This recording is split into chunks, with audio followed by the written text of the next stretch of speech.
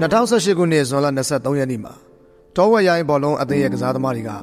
လော်ရလို့စင်အတိုင်းလေ့ကျင့်ရေးဆင်မှုစတင်ခဲ့ကြပါတယ်။ကစားသမားလေးတွေက17နှစ်ကနေ16နှစ်အရွယ်ထိရှိပြီးတော့သူတို့အသင်းမှာနီးပြတစ်ယောက်နဲ့လက်ထောက်နီးပြတစ်ယောက်ပါရှိပါတယ်။လေ့ကျင့်ရေးကပုံမှန်အတိုင်းပဲချောချောမမွေ့ပြီးဆုံးသွားခဲ့ပြီးတော့နီးပြကလည်းလူကြီးအသင်းတစ်သင်းကိုနောက်လာမယ့်ပွဲစဉ်အတွက်လေ့ကျင့်ပေးဖို့လက်ကင်ဖုန်းကိုပေးချထားပြီးပြင်ဆင်နေလိုက်ပါတော့တယ်။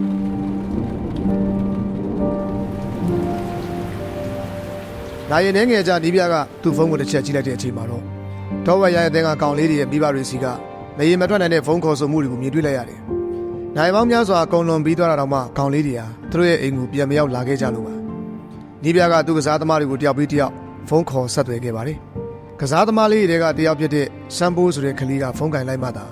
ပျောက်ဆုံးနေတဲ့ကလေးတွေနဲ့လက်ထောက်နီးပြတွေရဲ့သတင်းကိုကြားရပါတော့တယ်။လေ့ကျင့်ပြီးမှစမ်ပိုးကိုသူ့အမိကလာကြိုသွားတာဖြစ်တဲ့အတွက် စမ်ပိုးကဖုန်းပြောချိန်မှာအိမ်ပြန်ရောက်နေခဲ့ပါပြီ။အခြားအဖွဲ့ဝင်တွေကထမ်းလွှရန်လိုင်းကူကိုလက်ထောက်နီးပြနဲ့အတူစူးစမ်းလေ့လာမှုရာလိုင်းကူစီကိုစပိန်ကူစီနဲ့တွားကြတယ်လို့စမ်ပိုးကနီးပြကိုပြောပြခဲ့ပါလိမ့်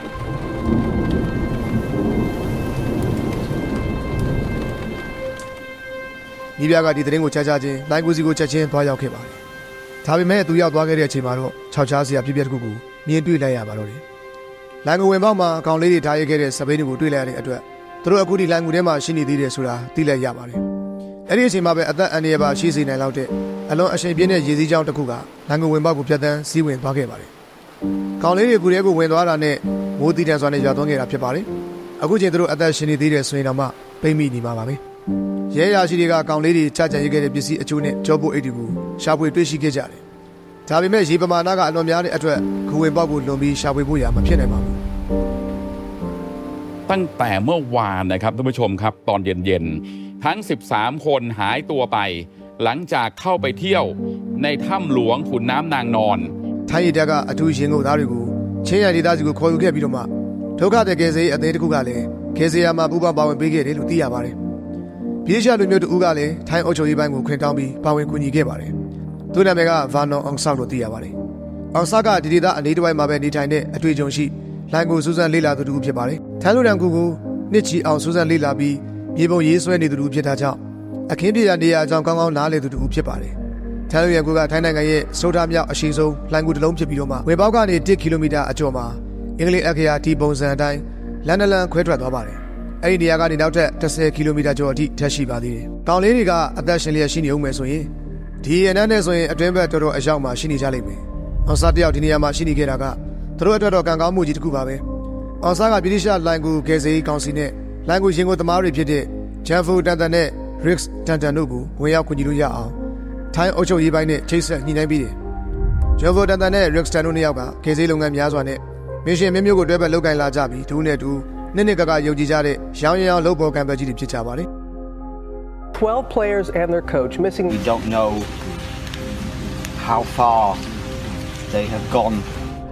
ကျန်းကျင်တဲ့ကေဆေးသမားတွေနေတိုင်းလိုလိုရောက်ရှိလာကြပြီမဲ့သူတို့လုပ်ငန်းမစခင်မှာအရာအလုံးနောက်ကျသွားမှကိုဆွေးကြောင်းယုံနေကြပါတယ်။ကောင်လေးတွေအသက်ရှင်လျက်ရှိနေကြအောင်မယ်ဆိုရင်တော့သူတို့အစာအစာပြက်လက်နေကြမှာပါ။နောက်ဆုံးမှာတော့ကေဆေးသမားတွေကဂူထဲမှာတနိုင်လောက်ချင်းယူပြီးရှာဖွေဖို့ဆုံးဖြတ်လိုက်ကြပါတယ်။အဲ့ဒီအချိန်မှာပဲမိုးတွေကထက်သေးလာပြီးတော့မှရေတွေပူများသွားတဲ့အတွက်ဝင်ရောက်ရှာဖွေနိုင်မှုနေနေတသာဂူထဲဝင်မှုတော့မှခက်ခဲသွားခဲ့ပါပြီ။ပြေးရှာရင်ကိုသမားတွေရောက်ရှိလာခဲ့တဲ့အခါမှာတော့ထားရည်တော်မှမလုံနိုင်တဲ့ကိစ္စကို ဒီလူအိုကြီးတွေကဘယ်လိုရအောင်လုပ်မလဲဆိုတာကလူပြောစရာဖြစ်နေခဲ့ပါတယ်။ဂျွန်အတွက်ကတော့လိုင်ကူအတွင်းရင်ကုန်ချင်းဆိုတာကသူပြောမှုတဲ့ဝါသနာပါရာအလုပ်ဖြစ်ပါတယ်။အချိန်ပြည့်အလုပ်အနေနဲ့ကတော့ဂျွန်ကကျန်းကျင်နေပညာရှင်တူဦးဖြစ်ပြီးတော့မှ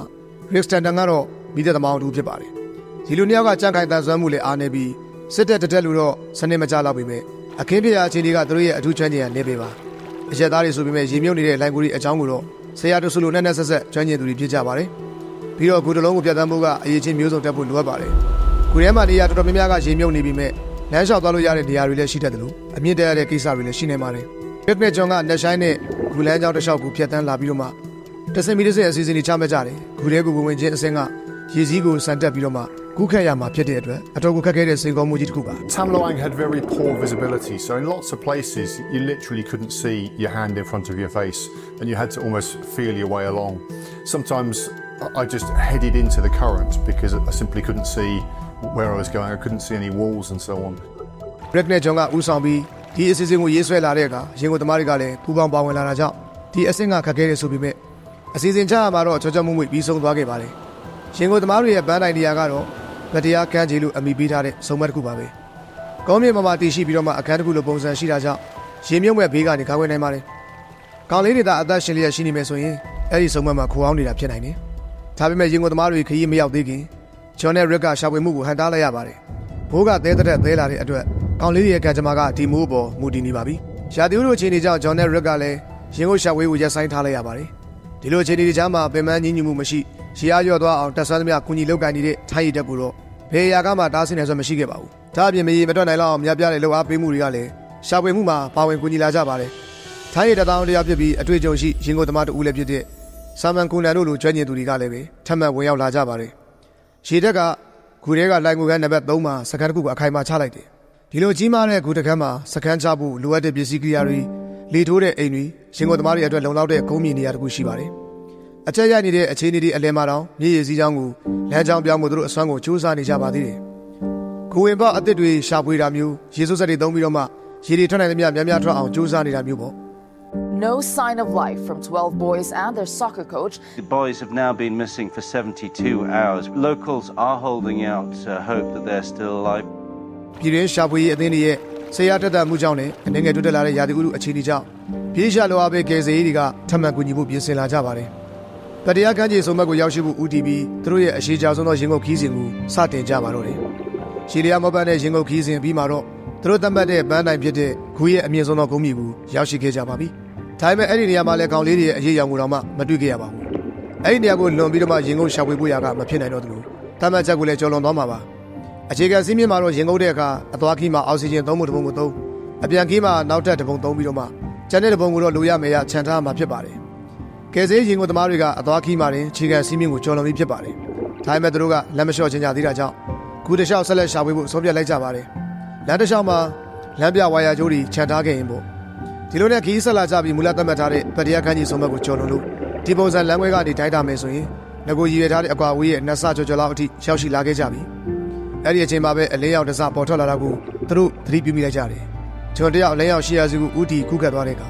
အတန်နေချားလာရတဲ့အတွက်ကင်မရာကိုဖွင့်လိုက်တယ်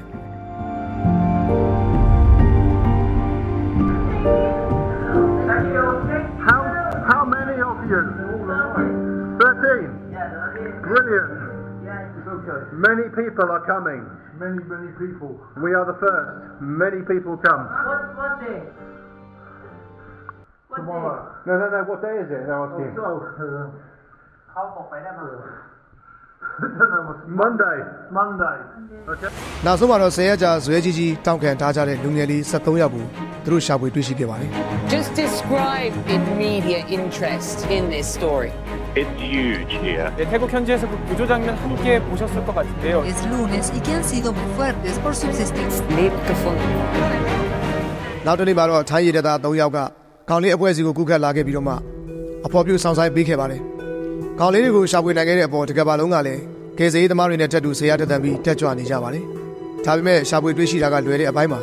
သူတို့ကဂူအပြေဘယ်လိုထုတ်ရမလဲဆိုတာကိုတော့ဘယ်သူမှမတွေးတော့တတ်ကြတော့ပါဘူး။ရေးချင်စရာတစ်ခုကတော့ကောင်လေးတွေကိုရှင်ကုန်တီးတင်ပေးလို့ရနိုင်ပါတယ်။ခက်ခဲရှိလျက်တဲ့ရင်ကုန်ခရီးကိုခေါ်သွားဖို့အစင်းနဲ့မဖြစ်မချင်း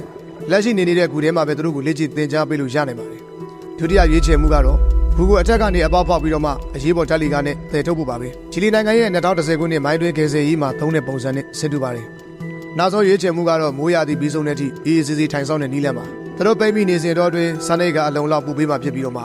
ရေကျသွားတာနဲ့ဂူပြင်းကိုလမ်းလျှောက်ထွက်လာလိုက်ရုံပါပဲ။အပြင်လူတွေအတွက်ကတော့ခက်ခဲတဲ့ရွေးချယ်စရာတွေများပြားနေတဲ့ထင်ရပြီမဲ့ကယ်ဆယ်ရေးသမားတွေကတော့ဒီရွေးချယ်မှုတွေကနေတစ်ခုကမှလက်တွေ့မကျဘူးဆိုတာသဘောပေါက်ကြပါတယ်။ဆိုရင်ရတဲ့ပတ်ဝန်းကျင်တစ်ခုမှာကလေးတွေကိုရင်ငုပ်တင်ပေးဖို့ကလုံးဝမဖြစ်နိုင်ပါဘူး။တချို့ကလေးတွေကရေတော်မကူတတ်တဲ့အပြင်ရဲအတော်ကြကြကောင်းကောင်းမအိပ်ဆက်သေးတာကြောင့်တစ်ဖွဲ့လုံးကမောပန်းနွမ်းနေနေကြတယ်။ နောက်တစ်ချက်ကမောင်မိုက်ချင်းမြောင်းတဲ့ဂူရင်းလမ်းကြောင်းကလေးမှာရုတ်တရက်ထိတ်လက်တိုးသွားပြီးတော့မှဖြည်းဖြည်းမမှန်ရှူရင်းရမယ့်အောက်ဆီဂျင်ကိုအသုံးလုံးမိသွားရင်သေဖို့ကလွဲပြီးတော့မှရွေးချယ်စရာမရှိတော့ပါဘူး။ဂူဖောက်ပြီးကဲထုတ်ဖို့ကလည်းလုံးဝကိုလက်တွေ့မကျတဲ့နီလန်တစ်ခုပါ။ချီလီနိုင်ငံမိုင်းနွေကိစ္စမှာဆိုရင်လူတွေလွတ်မြောက်ရအောင်ခုနှစ်ပတ်တာအချိန်ယူခဲ့ရတယ်။ထိုင်းနိုင်ငံလိုင်းကူကိစ္စမှာလည်းဒီကိစ္စနဲ့ရှင်ရင်ဘာမှပူတာမနေပါဘူး။ကဲထုတ်ရမယ့်အဖွဲ့ကမြေရောက်1ကီလိုမီတာနီးပါးအနက်မှာရှိပြီးတော့မှဖောက်ထုတ်အခက်တဲ့ကြောက်ဆိုင်ကြောက်သားတွေကလည်းအတော်များများပါဝင်နေပါတယ်။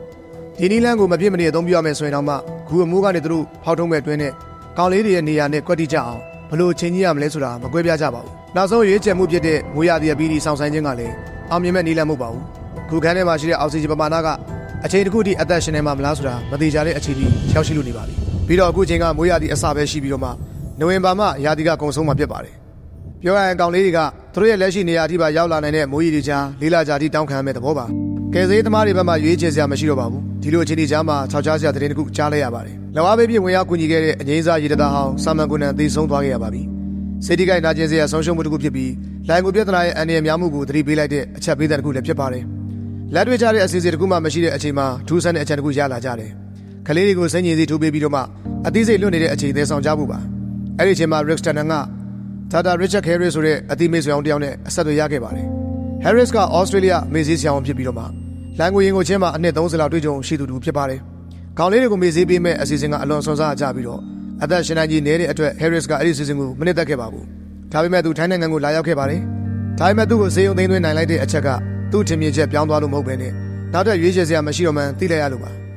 ဒီနည်းလမ်းကိုသုံးဖို့အတွက်ကမ္ဘာအတော်ဆုံးလိုင်းကိုရင်းကိုသမားတွေပါဝင်တဲ့အဖွဲ့တစ်ခုကိုစူးစီးပြီးစတင်အလုပ်လုပ်ရပါတော့တယ် ခေါင်းလေးတွေကိုရေကူးဝတ်စုံဝတ်စေပြီးတော့မှလုံးလုံးသတိလက်သွားအောင်မေးစင်းနှလုံးထိုးပေးရပါတယ်ပြီးတော့မျက်နှာတစ်ခုလုံးကိုဖုံးအုပ်နိုင်ပြီးတင့်တော်တဲ့လေတူးပြားတစ်ခုကိုထိမ့်သိမ့်ပေးတဲ့အတူးရင်ကိုမျက်နှာဖုံးကိုလည်းတက်ဆင်စေပါတယ်ဒါမှသာရေအောင်မှမျက်နှာဖုံးကွာဟမှုဖြစ်လာတဲ့အခါရေဝင်မလာအောင်လို့လေတူးပြားကတွန်းကန်ပေးမှဖြစ်ပါတယ်သူတို့လက်မောင်းတွေကိုလည်းငြိမ်ငြိမ်ထားဖို့အတွက်နောက်ကျောင်းမှာကျိုးနဲ့ကတ်ချီထားလိုက်ပါတယ်ပြီးတော့အောက်ဆီဂျင်80ရာခိုင်နှုန်းပါရှိတဲ့အောက်ဆီဂျင်အိုးကိုခေါင်းလေးတွေရဲ့ရင်ဘတ်မှာကတ်ရက်နေရာချထားပြီးတယ်ဒါမှသူတို့ဦးကောင်းတွေဟိုဆောင်တွေဆောင်မဖြစ်ဘဲနဲ့ လေကိုလည်းအခက်အခဲမရှိရှူသွင်းနိုင်မှာပါခေါ်ဆောင်ရလမ်းတစ်လျှောက်ပျောက်ဆုံးမသွားဘူးရာခေါင်းလေးတွေကိုတက်ဆိုင်ရာရင်ကိုသမားတွေနဲ့တွဲချီထားမှာဖြစ်ပါတယ်ဒီအချိန်ကစပြီးခေါင်းလေးတွေအသက်ကခေါ်ဆောင်သွားမဲ့ရင်ကိုသမားတွေအပေါ်လုံးလုံးရရမူတည်သွားပါပြီ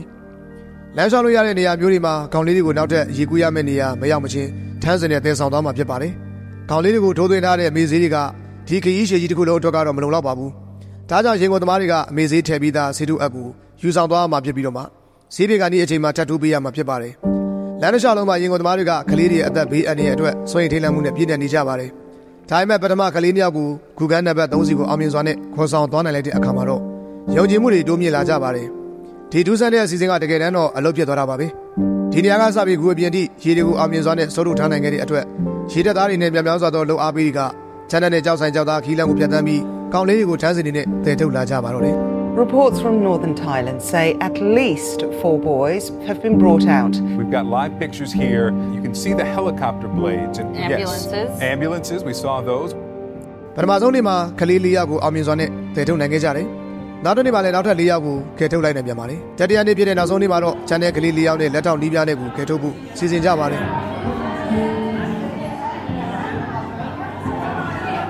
ဒီနေ့လမ်းကိုသူတို့အချိန်ချင်းအသုံးပြုတာအောင်မြင်ခဲ့ပြီးဖြစ်ပေမဲ့ဒီဒီချိန်မှာတော့တစုံတရာမှားယွင်းလို့နေပါတယ်။နောက်ဆုံးကလေးကအုပ်စုထဲမှာအသေးဆုံးဖြစ်ပြီးရင်းကုန်မျက်နှာပုံးကသူ့မျက်နှာသေးသေးလေးနဲ့အဝင်ခွင်ကြဖြစ်မနေခဲ့ပါဘူး။မျက်နှာပုံးကိုအန်ကြဆွတ်မိအောင်လို့ရင်းကုန်သမားတွေဘလောက်ပဲကြိုးစားပြီးဖိချနေပါစီ။ရေလုံစေတဲ့အနေအထားကိုမရရှိခဲ့ပါဘူး။ရင်းကုန်သမားတွေကိုနောက်မျက်နှာပုံးတစ်မျိုးသုံးကြည့်ဖို့ညွှန်ကြားတဲ့အခါသူတို့နဲ့တဲဆောင်လေးရှိပေမဲ့တခါမှထုတ်သုံးဖို့မလိုလားဘူးလို့ထင်ခဲ့မိတဲ့မျက်နှာပုံးတစ်မျိုးကိုအသုံးပြုရပါတော့တယ်။အဲ့ဒါကတော့အပျော်ကစားဖို့အသုံးပြုတဲ့ကြတဲ့ကလေးတို့မျက်နှာပုံးအသေးစားလေးပဲဖြစ်ပါတယ်။ ဒီတစ်ခုကလည်းသူမျက်နှာနဲ့တိတ်မတော်ခြင်းပဲနဲ့ချော်ထွက်နေပြီမဲ့ရင်ကုန်သမားတွေကအကောင်းဆုံးစူးစမ်းတက်စီပြီးထွက်ခွာလာခဲ့ကြပါတယ် Extraordinary moment here as we are now learning that entire team is now free of that cave. ကယ်ဆယ်ရေးကြီးစဉ်ကနောက်ဆုံးစက္ကန့်ကိုရောက်တဲ့အထိမလွယ်ကူခဲ့ပါဘူးအခုတော့အားလုံးပြီးဆုံးပြီးအောင်မြင်သွားခဲ့ပါပြီလက်ထောက်နီးပြားနဲ့တူကောင်လေးတွေအားလုံးကိုဘေးကင်းစွာနဲ့ကယ်ထုတ်နိုင်လိုက်ပါပြီကယ်ဆယ်ရေးသမားတွေမျှော်လင့်ထားတာတဲ့ပိုပြီးအောင်မြင်ခဲ့တဲ့အခြေအနေပါဒါပေမဲ့ရလက်ကောင်တစ်ခုအတွက်ပေးဆက်ရတာကတော့ရှိစမြဲပါ ထိုင်းရည်တပ်သားတယောက်ကကေဆေးလုပ်ငန်းလုပ်နေစဉ်အတော်တွင်မှာကုဆက်ယောဂတစ်မျိုးခံစားခဲ့ရပါတယ်။သူ့နာမည်က Aerobat Bara လို့ခေါ်ပြီးတော့မှကယ်ဆယ်လုပ်ငန်းစတင်ကလေးကတခြားခြားဖြစ်နေခဲ့တဲ့ပထမတန်းအရာရှိငယ်တူဖြစ်ပါတယ်။ကယ်ဆယ်ရေးအပြီးတစ်နှစ်အကြာမှာအဲ့ဒီအရာရှိငယ်ခွင်လွန်သွားခဲ့ရပါတယ်။ဒီလိုနဲ့တိုင်းရည်တပ်သားနှစ်ဦးကဘောလုံးအသေးတဲ့ကိုအသက်ပေးကယ်တင်သွားခဲ့ကြပါတယ်။သူတို့နှစ်ဦးကတိုင်းရည်တပ်ရဲ့တာဝန်တစ်ခုအပေါ်မဆုံးမနစ်ကြိုးစားမှုကိုတတိပြသွားခဲ့ကြတာဖြစ်ပါတယ်။ဗြိတိရှရင်ကိုသမားတွေနဲ့တိုင်းရည်တပ်ကလည်းအစပိုင်းမှာတော့အချင်းချင်းတန်တရားတွေရှိခဲ့ကြပေမဲ့နောက်ဆုံးမှာတော့တစ်ပတ်ကိုတစ်ဖက်ထောက်ပံ့အတူယူရင်းက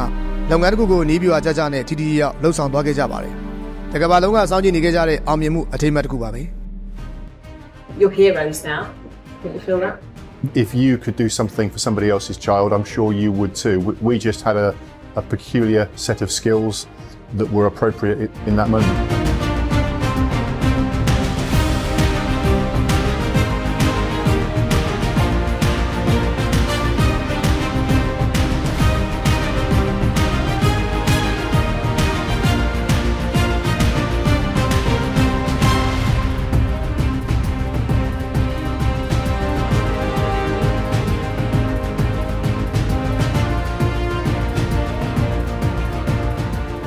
ဒီနားမှာမိတ်ဆွေတို့ကိုကျွန်တော်တို့မြန်မာပြည်ရဲ့ဈေးအချို့ဆုံး audio book app နဲ့မိတ်ဆက်ပေးချင်ပါတယ်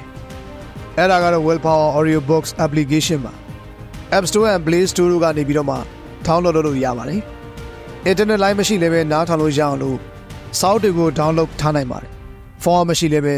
screen ပိတ်ပြီးတော့မှနားဆင်ခံစားလို့ရပါတယ်အလုံးမအားတဲ့အချိန်စာအုပ်မဖတ်အားတဲ့အချိန်အလုံးလုံးနေရင်နဲ့ကိုကြိုက်တဲ့စာအုပ်ကို